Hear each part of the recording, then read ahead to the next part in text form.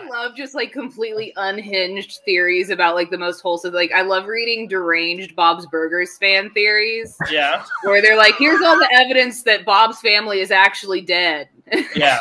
It's like, oh my god. I, you know what? The worst part is when those are really done well, where you're going, Fuck. shit, am I crazy? You're like, oh no. Mhm. I'm like, have I lost it? I don't. Mm, Or like the this is bad. whole, the Yeah. whole Ed, Edd n Eddy, the cul, the, the cul-de-sac is purgatory theory. Oh You guys know that yeah. yeah, that, that's a good one. Caleb, Ed, Edd n Eddy was a TV show on Cartoon Hmm. Network in the '90s. Cool. Yeah, I wasn't allowed to watch Cartoon Network, so I'm in the dark here, bro. Yeah, it's seriously, dude. My mom was like super stringent on that. I could watch Cartoon like Network, PBS.